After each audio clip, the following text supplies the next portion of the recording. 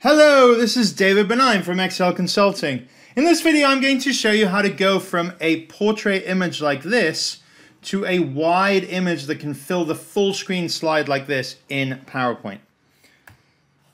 So let's see what I mean. Let's go to the next slide.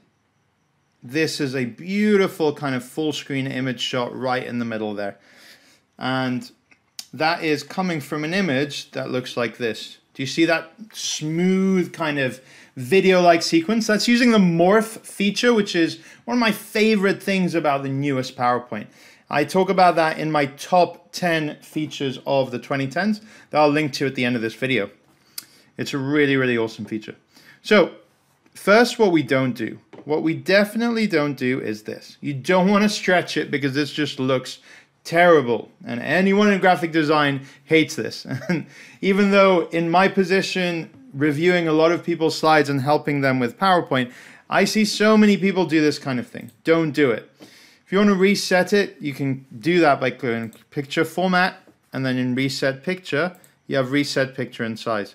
The amount of times that I do this is insane. so how are we going to do it? Firstly, we're going to go to picture format, crop. And we're going to crop it so that we only get the important parts of our image, which are kind of like this. I need the entire globe and the candle on top.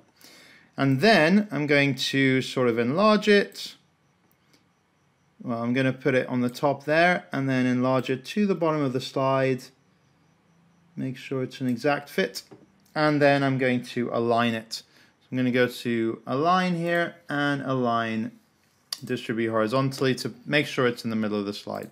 Then I'm going to duplicate the slide. In the Home tab, you can click this or you can press Control D, which I'll do next time.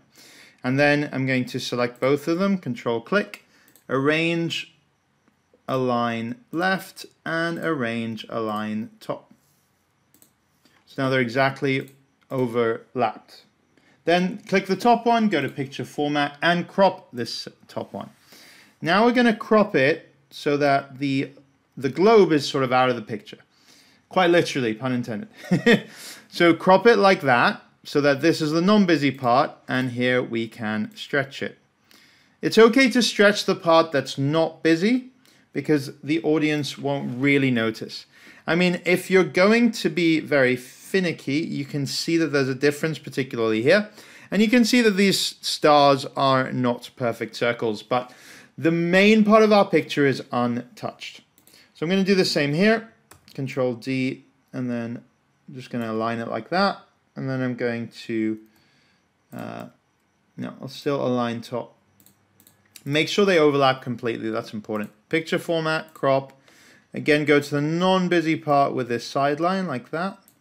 And then adjust it there. There we go.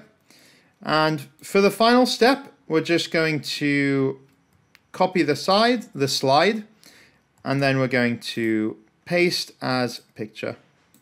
And now it's a it's a separate picture that doesn't even resemble these three that we've made it from. So I'm going to put that and I can align it. And there, make it full screen. And this is using more of how I did it. God, I love the morph feature. If you like this video, then please click on the like button and subscribe to my channel because I have plenty more videos like this as well. I'm going to do way more around this kind of slide design and what to do with full screen images and how to make sure the text is legible over the images and things like that. All right, thanks for watching.